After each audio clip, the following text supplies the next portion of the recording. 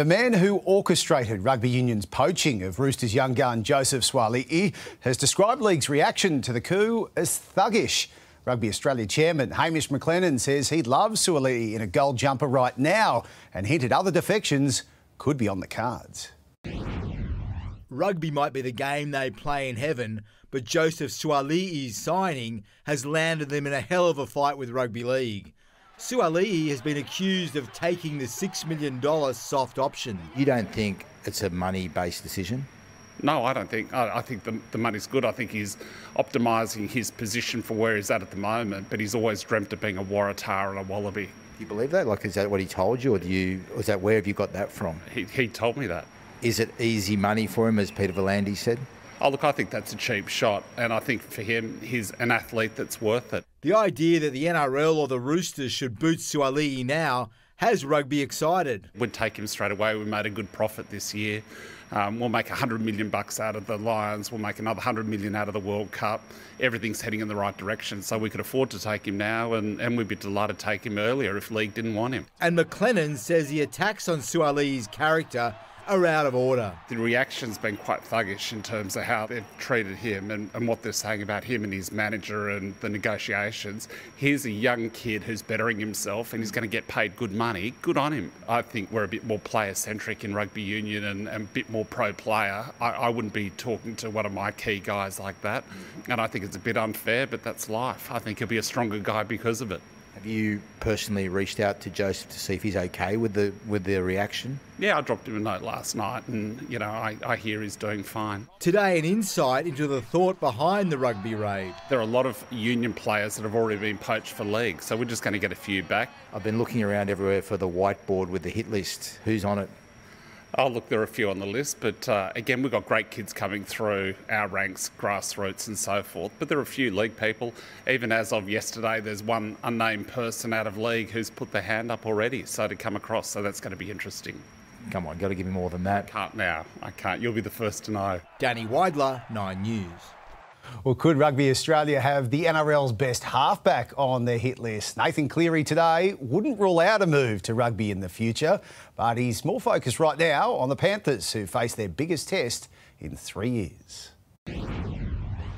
Admiring Bondi Beach alongside Rooster, Sam Walker. There's going to start some rumours. Thought that might be the case, but um, no, definitely uh, happy to be out west. Nathan Cleary crossing town to launch this year's City to Surf. So I don't think I'll be real good over 14k, so um, might come down and watch this year, but I don't know if I'll be taking part. But could he do the runner and follow his idol, Dan Carter, down the road to rugby union? I have great respect and admiration for, for union players, particularly growing up in New Zealand. You know, it's so big over there and always keep a keen eye on it. At the moment, I'm, I'm pretty happy with where I'm at. Um, somewhere down the track, maybe. A Panther until at least 2027. Cleary's immediate problem, the Premier's form. I think it's been a relatively disappointing start to the year, but um, you know we've lost both our games by a point, so that's something we've probably got to address is um, closing out those close games and, and sort of you need to win those tight ones. Despite winning just one match in 2023, a three-peat remains the focus. It's a challenge, but that's something that we've got to walk towards and, and be excited about. And we're at the stage now where we, yeah, we have to evolve. Been playing really well for a long period of time, but you've got to have that sort of evolution and, and, keep trying to get better. And with some more field goal practice, Cleary could produce more magic like he did against Parramatta. Do you ever try from specific distances in that two point range? Nah, usually, honestly, just from in front. It's probably a good reminder to actually you know, practice from different um, places for different scenarios. Zach Bailey, Nine News. Clint Gutherson won't be forced out of the fullback role at Parramatta, but that doesn't mean the Eels aren't on the hunt for another number one.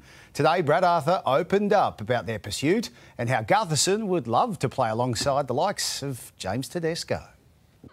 Brad Arthur has set the record straight on Clint Gutherson. We haven't had any discussions about moving him to the centres. But Parramatta has three spots available in their squad and money to burn in the salary cap. Arthur admits he would still like to add another fullback to their ranks. Would we be advantaged if we can get a um, someone off the bench that's got a bit of X factor? If Gutho was to go down, who replaces him? You know, at stages last year and, and probably the, at the back end of the year Gutho had a, a, broken hand that no one knew about and played the last four or five games with a broken hand. And we had Jake there on the bench in case of an emergency where Mitchell would have to go to fullback. That's not what's best for our team, moving Mitchell around. The coach insists the captain is safe and has been involved in the discussions. He's often joked, if you can get me Teddy, I'll play in the centres, but, um, you know, that's just his attitude around doing what's best for the team because he just wants to win.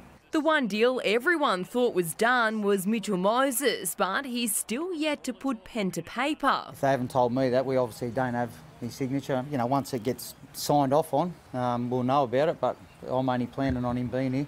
South Sydney trained under the watchful eye of club great George Piggins today. They'll be taking all the advice they can get up against Melbourne this Friday, who have beaten the Bunnies seven out of the past eight times they've played. Maybe we sort of got to get that out of our heads that they're, they're Melbourne and we just got to play our footy and focus on ourselves. Danika Mason, 9 News.